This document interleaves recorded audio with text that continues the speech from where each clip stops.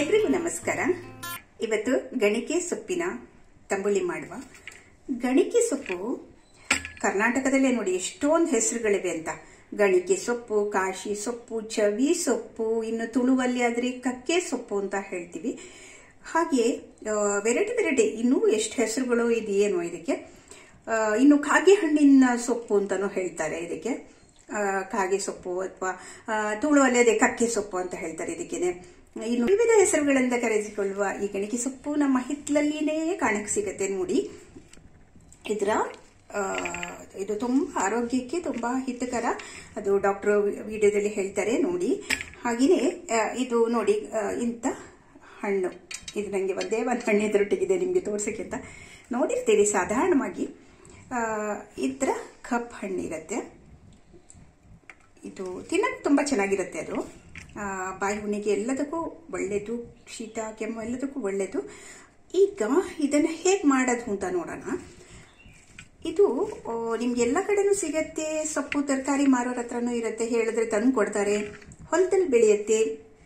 ನಮ್ಮನೇಲಿ ಪುಟ್ಟು ಗಿಡ ಇತ್ತು, ಅದರಲ್ಲಿ ನನಗೆ ಇಷ್ಟು ಸಿಕ್ಕಿದೆ ಇವಾಗ. ಏನು ಗಡಿಗೆ ಸೊಪ್ಪು. ಚವಿ ಸೊಪ್ಪು. ನಮ್ಮ ಪುತ್ತೂರು ಕಡೆ ಎಲ್ಲ ಆದರೆ ನಾವು ಚವಿ ಸೊಪ್ಪು ಅಂತ ಹೇಳ್ತಿದ್ದೀವಿ. ನಮ್ಮ ಇಲ್ಲಿ ಮಂಡ್ಯ, ಮೈಸೂರು ಕಡೆ ಆದರೆ ಗಣಿಕೆ ಸೊಪ್ಪು ಅಂತ ಹೇಳ್ತೀವಿ. ಇನ್ನು ಕೆಲವು ಕಡೆ ಕಾಶಿ ಸೊಪ್ಪು ಅಂತ ಹೇಳ್ತೀವಿ. ಏನು ಬೇಕು ಇದಕ್ಕೆ ತಂಬಳಿಗೆ ಅಂತ ನೋಡೋಣ. ನೀರು ಆರದೇ ಇರುವಂತಹ ಹಸಿ ತೆಂಗಿನಕಾಯಿ ತುರಿ. ಒಣ ಇರಬಾರ್ದು ಕೊಬ್ಬರಿ ಅಂತೂ ಆಗಲೇಬಾರ್ದು. ತಂಬಳಿಗಳಿಗೆ ಹಸಿಕಾಯಿ ಸ್ವಲ್ಪ ನೋಡಿ, ಇಷ್ಟು ಇದೆ. ಜೀರಿಗೆ ಇನ್ನು ಪೆಪ್ಪರ್ ನೋಡಿ.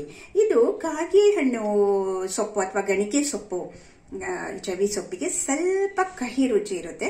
ನಿಮ್ಗೆ ಇಷ್ಟ ಅದೊಂಚೂರು ಕಹಿ ಬರುತ್ತಲ್ವಾ ಅಂತ ನಸು ಕಹಿ ಅಷ್ಟೇ, ಏನು ಗೊತ್ತಾಗೋಲ್ಲ ತಂಬಳಿಗೆ. ಯಾಕೆಂದ್ರೆ ಇದಕ್ಕೆ ಮೊಸರು ಮಜ್ಜಿಗೆ ಹಾಕಿರ್ತೀವಲ್ಲ?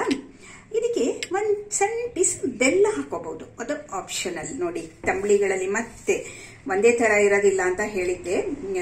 ಇನ್ನು ಯಾವುದು ತಂಬಳಿ ಮಾಡುವಾಗ ಗಂಧದ ತಂಬಳಿಯಲ್ಲಿ ಹೇಳಿದ್ದೀನಿ.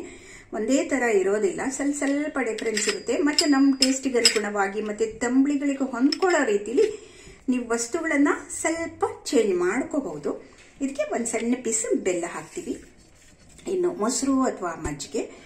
ಈಗ ನಾನು ಮೊಸರು ತೊಗೊಂಡಿದ್ದೀನಿ ಸಿಹಿ ಮೊಸರೇ ಬಟ್ ನಾನು ಇದನ್ನು ಮಿಕ್ಸಿ ಮಾಡುವಾಗ್ಲೇ ಇದನ್ನು ಹಾಕ್ಬಿಡ್ತೀನಿ ನೀರಿನ ಬದಲಿಗೆ. ಸ್ವಲ್ಪ ನೀರು ಕೂಡ ಹಾಕೋಬಹುದು ಏಕೆಂದರೆ ತಂಬಳಿ ಖಾರ ಇರಬಾರ್ದು ಹೇಳಿದ್ದೀನಿ ದಿನ ಹೇಳ್ತಾ ಇದ್ದೀನಿ. ಜೊತೆಗೆ ಸ್ವಲ್ಪ ಅದು ನೀರು ಥರ ಇದ್ರೇ ಒಳ್ಳೆಯದು ತುಂಬ ದಪ್ಪ ಇರಬಾರ್ದು. ಈಗ ನಾವು ಇದನ್ನು ಫ್ರೈ ಮಾಡಿಬಿಟ್ಟು ತುಪ್ಪದ ಜೊತೆಗೆ ಇನ್ನೊಂದು ತುಪ್ಪದ ಜೊತೆಗೆ ಫ್ರೈ ಮಾಡಿಬಿಟ್ಟು ಮಿಕ್ಸಿ ಮಾಡೋಣ.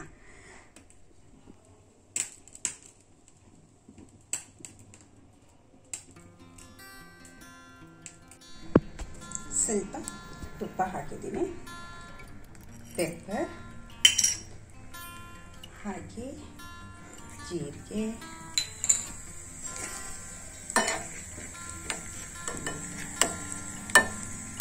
ಇದು ಸ್ವಲ್ಪ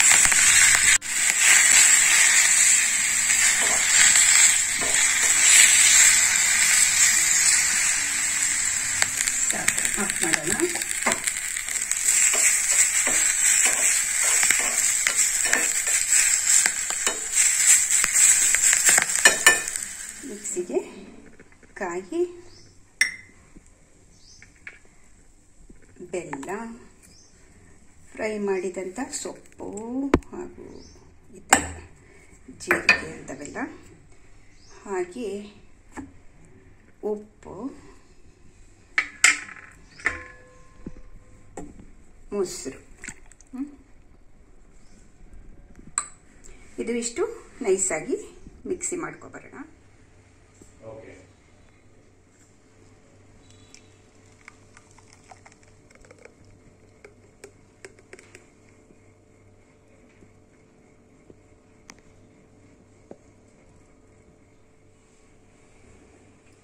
ರೆಡಿ ಇದೆ.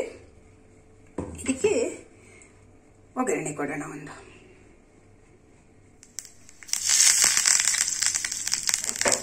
ಗಣಿಕೆ ಸೊಪ್ಪಿಗೆ ಅದರದ್ದೇ ಆದ ಒಂದು ಸುವಾಸನೆ, ಇದು ಏನು ಪರಿಮಳ ಅಂತ ಇಲ್ಲ. ಅದಕ್ಕೆ ಒಂಚೂರು ನೀವು ಕರಿಬೇವು ಕೂಡ ಹಾಕೊಳ್ಳಿ ಒಳ್ಳೆಯದೆ ಇನ್ನು ಕೆಲವರು ಇಂಗು ಯೂಸ್ ಮಾಡ್ತಾರೆ ಹಾಕೋಬಹುದು ಚೆನ್ನಾಗಾಗತ್ತೆ. ಘಮ ಬರುತ್ತೆ ಅದರದ್ದೇ. ಗಣಿಕೆ ಸೊಪ್ಪು, ಕಾಶಿ ಸೊಪ್ಪು, ಚವಿ ಸೊಪ್ಪಿಂದು ತಂಬಳಿ ಸವಿ ಸವಿಯಾಗಿ ರೆಡಿಯಾಗಿದೆ ಈಗ. ನೋಡಿ ಹೇಳ್ತೀನಿ ಹೇಗಿದೆ ಅಂತ ನಿಮಗೆ. ಇದ್ರ ನಡುವೆ ನಾನು ನಿಮ್ಗೆ ರಿಮೈಂಡ್ ಮಾಡಬೇಕಂದ್ರೆ ಹೊಸದಾಗಿ ನೋಡೋರು ಪುಷ್ಪ ಭಟ್ ಕಿಚನ್ಗೆ ಸಬ್ಸ್ಕ್ರೈಬ್ ಮಾಡಿ ವಿಡಿಯೋ ಇಷ್ಟ ಆದವ್ರು ಲೈಕ್ ಮಾಡಿ ಹಾಗೆಯೇ ಶೇರ್ ಮಾಡಿ. ಕಾಮೆಂಟ್ ಮಾಡೋದನ್ನು ಮಾತ್ರ ಮರಿಬೇಡಿ. ನಿಮ್ಮ ಕಡೆ ಇದಕ್ಕೆ ಯಾವ ಹೆಸರು ಹೇಳ್ತಾರೆ? ಇದು ಯಾಕಾಗಿ ನೀವುಗಳು ಬಳಸ್ತೀರಿ? ಅಥವಾ ಮಾಡ್ತೀರೋ ಇಲ್ವೋ? ಎಲ್ಲದೂ ಕಮೆಂಟ್ ಬಾಕ್ಸಲ್ಲಿ ಹಾಕಿದ್ರೆ ನನಗೆ ಗೊತ್ತಾಗುತ್ತೆ. ಫ್ರೆಂಡ್ಸ್ ಹಾಗೆಯೇ ಕಮೆಂಟ್ ಮಾಡೋದು ಮರಿಬೇಡಿ. ಶೇರ್ ಮಾಡಿ. ಎಲ್ಲದಕ್ಕಿಂತ ಆರೋಗ್ಯದಾಯಕ ಅಲ್ವಾ ಇದು? ಇವನ್ನೆಲ್ಲ ಅಡುಗೆಗಳನ್ನು ಶೇರ್ ಮಾಡಬಹುದು ಅಂತ ನಂದು ಒಪಿನಿಯನ್ ಹಾಗೆಯೇ ಫ್ರೆಂಡ್ಸ್ ನೆಕ್ಸ್ಟ್ ವಿಡಿಯೋದೊಂದಿಗೆ ಭೇಟಿ ಆಗ್ತೀನಿ ಅದರ ನಡುವೆ ನಿಮ್ಗೆ ಇದು ಹೇಗಿದೆ ಅಂತ ಒಂದು ಹೇಳಬೇಕಲ್ವಾ ನಾನು?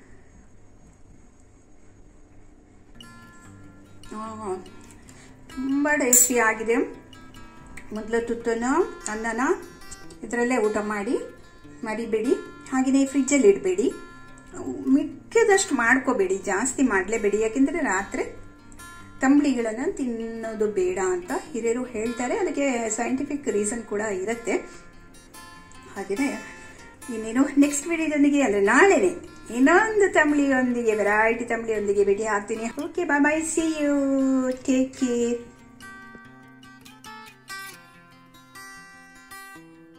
ನಮಸ್ಕಾರ. ಇವತ್ತು ಗಣಿಕೆ ಸೊಪ್ಪು ಅಥವಾ ಅದರ ಗಿಡದ ಔಷಧೀಯ ಗುಣಗಳ ಬಗ್ಗೆ ತಿಳ್ಕೊಳ್ಳೋಣ. ಗಣಿಕೆ ಗಿಡ ಅಥವಾ ಸೊಪ್ಪು ಅದನ್ನು ಕಾಗೆ ಹಣ್ಣಿನ ಗಿಡ ಅಂತಲೂ ಕರೀತಾರೆ ಕನ್ನಡದಲ್ಲಿ. ಸಂಸ್ಕೃತದಲ್ಲಿ ಕಾಕಮಾಚಿ ಅಂತ ಕರೀತಾರೆ.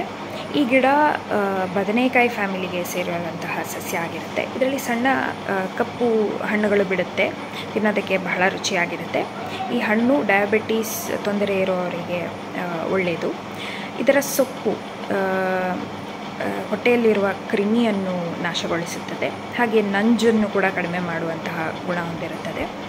ಹಾಗೆ ಇದು ಬಾಯಿ ಹುಣ್ಣಿಗೆ ಅಥವಾ ಅಲ್ಸರ್ಸ್ ಹೊಟ್ಟೆ ಒಳಗಿರುವಂಥ ಅಲ್ಸರ್ಸ್ ತೊಂದರೆ ಇರೋರಿಗೆ ಸಹ ಇದು ಒಳ್ಳೆಯದು ಹಾಗೆ ಇದು ಸ್ಪ್ಲೀನ್ ಮತ್ತು ಲಿವರ್ ತೊಂದರೆ ಇರೋರಿಗೂ ಸಹ ಇದರ ಬಳಕೆ ಮಾಡೋದರಿಂದ ಆಹಾರದಲ್ಲಿ ಒಳ್ಳೆಯದಾಗ್ತದೆ ಇದು ಸ್ವಲ್ಪ ಕಹಿ ರಸವನ್ನು ಹೊಂದಿರ್ತದೆ.